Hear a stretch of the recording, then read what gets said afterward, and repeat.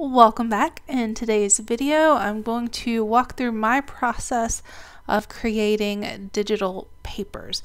And this can be done in Affinity Designer. I've tried it in the iPad app and it's a little wonky, so it's still better to do it on the desktop for now until they work through the bug that I think they're having with the app. So to get started, go ahead and create a new document. I have the type as print. I'm doing mine in inches. I'm also doing it in CMYK. The size that is typically the most common is 12 inches by 12 inches. I'm also doing a 300 dpi in case this is getting printed at a place like Shutterfly or something like that. And click OK.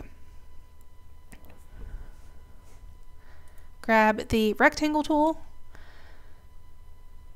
create a rectangle over your artboard or document. Just make sure that it is completely covered.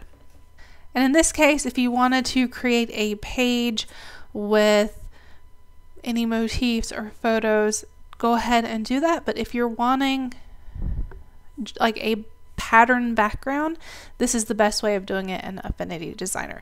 So go over to the left side, grab the fill tool, go up to the top, change the type to bitmap. It automatically tries to open up the last place that you're at. I did save my pattern on to my desktop. And quick note before going over the bitmap settings, if you are not sure how to create patterns, I have tons of videos on both the desktop and iPad versions and I will leave links up below. There should be like a little eye in the top right corner.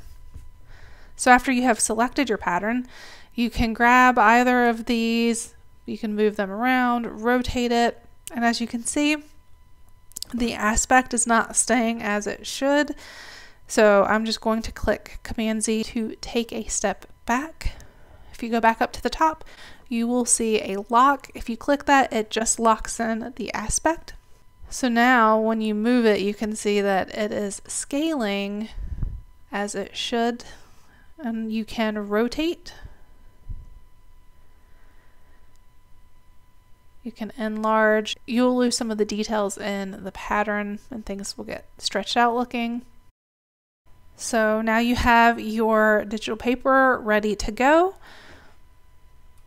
If you go to File and Export, for these, I like to save them as a JPEG.